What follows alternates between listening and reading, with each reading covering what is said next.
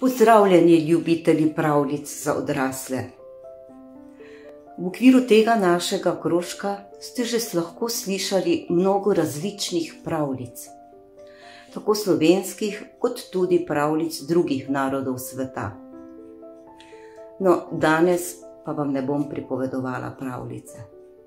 Prebrala bom namreč zgodbo iz resničnega življenja. Slišali boste torej zgodbo iz resničnega življenja in sicer iz ranega otroštva našega pesnika, novinarja, prevajalca, urednika Jožeta Šmita. Letos namreč obeležujemo stoletnico njegovega rojstva. Rodil se je 1. februarja 1922 v Tlakah pri Rogatcu, v preprosti slamo kriti hiški, blizu Donačke gore.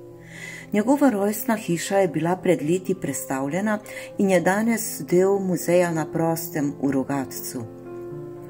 V knjigi Kaj nam je popisal Jakec, je Jože Šmit opisal utrinke iz svojega otroštva. Takole je pripovedoval. Rodil sem se v veliki kmečki družini.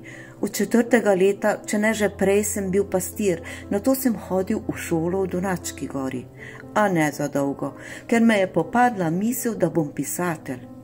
In če sem hotel postati pisatelj, sem moral naprej v šolo. Naj je bilo še tako težko zaradi domače revščine, sem nekaj jeseni res odšel v Ljubljano, v gimnazijo. Potem je bila vojna. Tudi jaz sem bil vojak, pregnanec, proti koncu vojne partizan. Tudi takrat sem pisal, še več pa po vojni.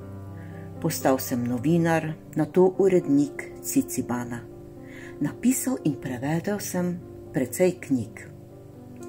O svojem najzgodnejšem otroštvu je pesnik zapisal, kot so mu pripovedovali starši ali bratje in sestre. Kot pastirček se je zelo navezal na živali in naravo. O tem pa govori tudi današnja zgodba z naslovom Junčka.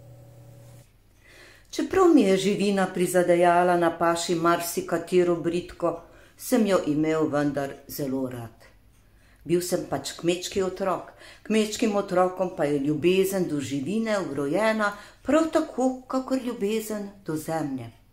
Lepa živina je ponos vsakega kmeta in tega ponosa smo se navzeli tudi mi, otroci. Na paši smo se kaj radi postavljali, ti, naša živina je pa lepša kot vaša. Otroci smo o živini govorili, da je naša, v resnici pa je vsakdo bolj ali manj mislil, da je očetova, kar je bilo tudi res. Meni pa je od vsega začetka rojilo po glavi, da bi imel svojo živino. Sosed je imel dva junčka, lepa junčka, res so bila zelo lepa. Želel sem si, da bi bila ta dva junčka naša, no, moja, resnično moja, ne naša. Razvedelo se je, da misli sosed junčka prodati. Prodati, ne podariti, zato pa je bil potreben tistemu, ki bi jo hotel dobiti, denar. A kje naj bi prišel do denarja jaz? Če bi oče imel denar in bi kupil junčka, bi bila naša, to se pravi eh, njegova, ne pa moja. Zadnji čas se je pogosto oglašal pri nas boter. Včasih mi je stisnil kak dinar. Nekega dne pa je boter spet prišel k nam. Kot ponavadi sta z očetom odšla v klet, kjer sta pila in se pogovarjala. Smukal sem se okrog njiju, čeprav sem imel živino na paši. V začetku sta se oče in boter pametno menila o letini, davkih in drugih tegobah. Tudi počasi jim je vino zlezlo v glavo. Boter in oče, oba sta bila že posteno natreskana in boter je se tako raznežil, da je objemal in poljuboval mojega očeta, vmes pa govoril – Tako ti povem, da sva samo še mi dva poštenjaka na svetu, samo tebe še imam rad, zato pa bova skupaj držala. Vidiš, dragi, v hranilnici imam osem jurjev, Da, da, osem tisočakov. Vidiš, jaz imam svojega jučka, ti pa jakca. Ej, jakec, pridi sem. Vidiš, vsakemu polovico. Jučku pol, tvojemu jakcu pol. In še je govoril, mene pa je kar odneslo v njiju. Kaj je to bilo?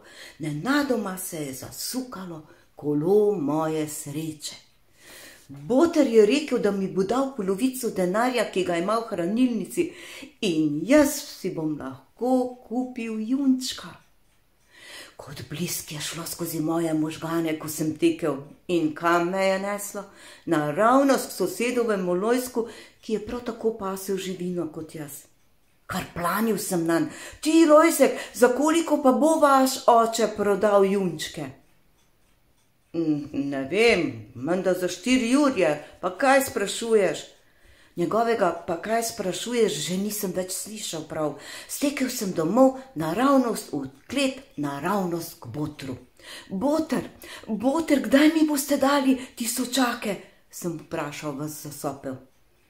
Boter je bil zlezel čisto v dve gube, oče zraven njega pa tudi. Prvi se je sedaj zramil oče. K živini, fant, je ostro opomnil. Jaz pa se nisem dal ugnati. Očetove besede so mi sicer vzele nekaj poguma, vendar sem ponovil: Boter, kdaj mi boste dali tiste tisočake? Sedaj se je predramil tudi Boter, obrnil se je k očetu in zmeden zajecljal. Hm, fant je žejen, daj mu piti, na pi, jakec pi. Grabil je po kozarcu in ga prevrnil, hkrati pa se je zvrnil stola tudi sam. Stal sem, kako okamenel. Torej ni res. Boter je pijan, pa ni morda tistega zgovoril samo zaradi vina, ki mu je zlezlo v glavo. Bolj in bolj se mi je začela svitati prežalostna resnica, da mi boter ne bo dal tisočakov. Ko sem gledal pijanega botra, ki se ni mogel niti z očetovo pomočjo pobrati stav, je splahnil še zadnji up. V resničnost me je priklicala sestra Mara. Jakec, jakec, poglej, kje ti je živina, to bodo ata hudi. Živina se mi je res razgubila daleč v polje in bila je sreča, da je oče ni opazil. Imel je dovolj opravka s pijanim botrom. Pa Junčka, sosed ju je prodal na prvem sejmu in ju nisem nikoli več videl.